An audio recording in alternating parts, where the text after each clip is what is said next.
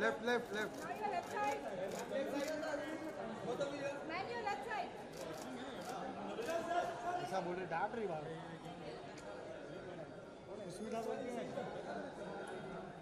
जी भैया लेफ़्ट में Now left में मैम मैम लेफ़्ट में बोलते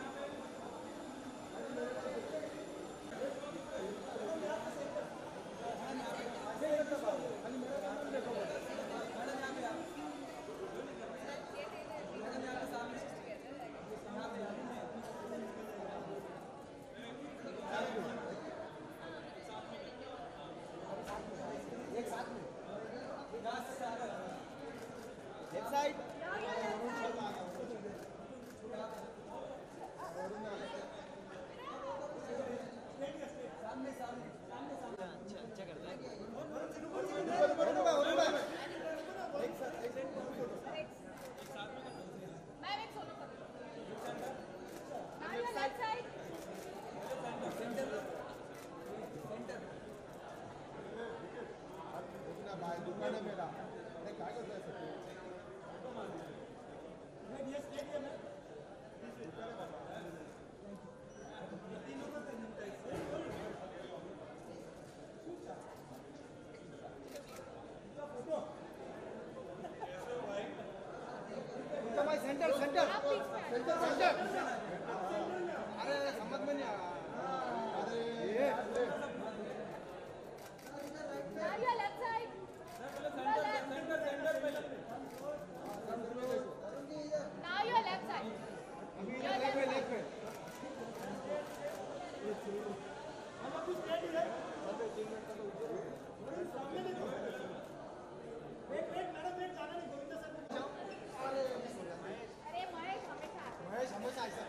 ऐसा मत करो ऐसा मत करो।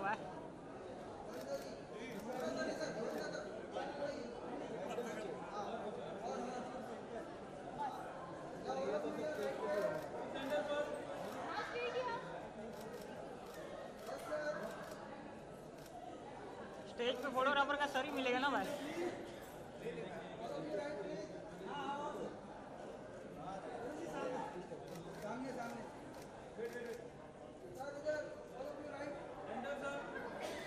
हँसी आती है? आ, नमस्कार प्रणाम भैया। क्या हाल है सब? आ, मैं धन्यवाद देता हूँ आदरणीय साजिद जी का और अभिषेक का।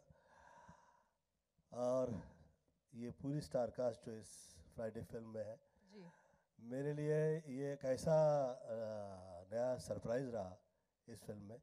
क्योंकि मैं जिस वक्त आया तो मुझे ऐसा लगा कि इट्स फाइन बहुत साल से लोग पूछ रहे हैं कि किस फ्राइडे में आपकी फ्राइडे पिक्चर देखने मिलेगी? यस सॉरी फ्राइडे देखने मिलेगी फ़िल्म आपकी. आ, तभी सोचा नहीं था कि फ्राइडे के साथ फ्राइडे आऊँगा. फाइन मुझे ऐसा लगता है कि कहीं तो स्टार्ट ये इस तरह का आ, होना ही था देखने मिलना ही था. परंतु ऐसे रोमांटिक स्टार्ट मिलेगा ये नहीं सोचा था. मुझे जो अच्छा लगा इस फ़िल्म में सबसे जो खासियत लगी कि मैं जिस वक्त फ़िल्में किया करता था शुरू शुरू में तो लोग कहा करते थे यार तेरी फ़िल्म का ये प्रोड्यूसर वो मेकर नहीं है या तेरे फाइनेंसर्स बड़े नहीं हैं। तो जिस वक्त फ़िल्म लग जाती थी तो वो फ्राइडे वाले दिन उस टाइप का सरप्राइज़ मिला करता था कि यार ये तो हिट हो गई। जो सोचा ही नहीं था। इस फ़िल्म में जिस वक्त काम शुरू हुआ कमाल है मैं तारीफों के मतलब पुल बाँध सकता हूँ। अभिषेक मुझे ऐसा लगता है कि मुझे बहुत साल बाद वो सरप्राइज़ देखने मिला वो उस तरह का काम देखने मिला उस तरह की राइटिंग मुझे मिली अ, इतने साल बाद कि मुझे इतना अ, काम करते समय ऐसा लग रहा था कि यार बड़ा सरप्राइज़ ये ये फ़िल्म जो है ये सुपर हिट होगी ऐसी मेरी अपनी फीलिंग है। और उसमें खासियत ये हो गई साथ में जो जो आर्टिस्ट काम कर रहे हैं। उफ मतलब कि ये लोगों ने मुझे चैन से सांस लेने नहीं दी। तो मुझे ऐसा लग रहा था मैं बहुत फैला हुआ था। मैंने सोचा कि यार सब अच्छा है सब काम कर रहे हैं वेरी गुड तो होता ही रहा है। और ये इतना मेहनत करते हैं ये मेरे लिए इतना सरप्राइज़ था कि वरुण इज़ टू गुड मुझे ऐसा लगता है कि आ, मैं वरुण और मेरे लिए दोनों के लिए ये कहता हूँ कि हम लोग थोड़ा सा वेट रिड्यूस कर लें तो हम सुपरस्टार हैं। अब उसको पहले दिन से चाबी दिए जा रहा हूँ वरुण यार तू थोड़ा वेट रिड्यूस कर ले। तू सुपरस्टार है सच कह रहा हूँ मैं मैं सच कह रहा हूँ। आप डांस देखिए डांस में भी कम नहीं है किसी से। और एक्टिंग तो अच्छी करती ही हैं। बिल्कुल बिल्कुल। और ये जो कह रहे हैं कि मैं बहुत इंस्पायर्ड हुआ पिक्चर देखने के बाद फ्रैंकली स्पीकिंग मैं जितना फैला हुआ था, मैंने सोचा था कि यार सब आर्टिस्ट है। तो उसमें वरुण हो या दिगंगना हो या पवलीन हो और ख़ास तौर पे आप प्रभु, एक सेकंड के लिए आपको प्लीज़ आप ज़रा उधर से उधर से ऊपर खड़े हो जाइए। आइए आइए। अरे यार जोकिंग सर यार मज़ाक था प्लीज़ करता है, किसी सीरियस रोल में डाल देंगे तो उसकी तरफ़ आपकी मतलब वो चीज़ सेम कोशिश होगी करने की। सो so, ऐसा कोई इंग्रेडिएंट नहीं है मतलब हम ये पनीर बटर मसाला तो नहीं बना रहे कि मेरे घर पे कोई रेसिपी है। मतलब ये सेम ही चीज़ें हैं जो एज एन एक्टर हम डिफरेंट डिफरेंट अपनी जो ट्रेड्स हैं अपनी जो ऑब्जर्वेशंस हैं उसको अ, लेके आते हैं और उसको हम ट्राई करते हैं कि जस्टिफाई कर सकें उस पर्टिकुलर मोमेंट उस पर्टिकुलर फ्रेम में और frame by frame by frame मिला के उस पूरी फ़िल्म में। हेलो गोविंदा जी रवि यहाँ पर from ABP news Govinda ji आजकल बायोपिक बनने का बहुत चलन है। तरह तरह के खिलाड़ियों पर तरह तरह के लोगों पर।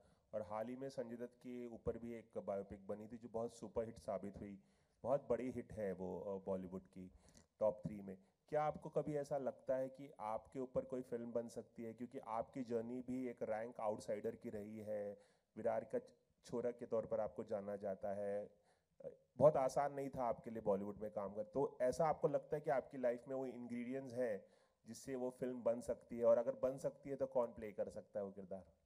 अभी क्या ये बहुत अच्छा सवाल आपने पूछा है, पर इसे जगह करेक्ट नहीं है इसकी। बहुत साल बाद मैंने रोमांटिक फ़िल्म की है। तो जो जो आर्टिस्ट नीचे से ऊपर आए हैं लाइफ में, और ख़ास तौर पे ऐसी जगह में जहाँ पे मौके ही नहीं अता फरमाता ऊपर वाला जल्दी से नहीं मिलता है चांस ऐसी जगह में। तो हाँ ये अ, हो सकता है पर अभी नहीं फ़िलहाल तो नहीं। अ, मेरा ये सोचना है कि मेरी ज़िंदगी के हर वो जो अ, पहलू हैं ख़ास तौर पे माँ बाप के आशीर्वाद से जुड़े हुए और ख़ास तौर पे गुरु वर्ग से जुड़े हुए और वो जो गाँव की जो मस्तियाँ होती हैं और जो गाँव में प्रेम होता है लोगों में, आपस में उनका, वो वो जो है, वो वाकई मुझे लगता है कि आनंद मतलब क्योंकि मेरा ऐसा सोचना है कि गरीबी में और जो लोग डिप्रेस हो जाते हैं, लोग सोचने लगते हैं कि यार जो तकलीफ़ की तकलीफ़ एक्सेप्ट कर लेते हैं ना जो लोग, वो लोगों के लिए वो सिनेमा डेफिनेटली मुझे ऐसा, मेरा ऐसा सोचना है कि वो धमाल होगा, इंस्पायरिंग होगा, पर अभी नहीं, फ़िलहाल तो इसमें मैंने अ, मुझे ऐसा लगता है कि मौका लग गया है और Abhishek is been so is too good in the film. तो मुझे ऐसा लगता है कि थोड़ा समय तो अभी फ़िलहाल तो नहीं। और जो इसके बाद आ रही है रंगीला राजा अगेन उसमें वो उसी टाइप का आप लोगों को काम देखने मिलेगा जो पहले आप लोगों ने देखा है। तो अच्छी उम्मीद है मुझे। थोड़ा मैं इस वक्त डिफरेंट मूड में हूँ। It's a nice feel I think it shift out very well sorry इसी से जुड़ा हुआ सवाल हाइपोथेटिकल है। अगर फ़िल्म बनी तो कौन होना चाहिए आपके किरदार में?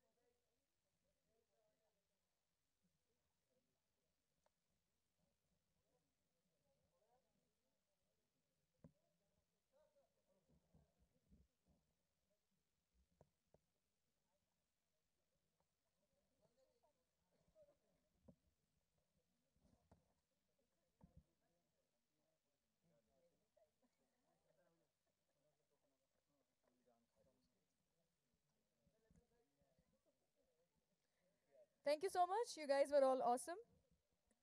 Thank you and have a great Saturday.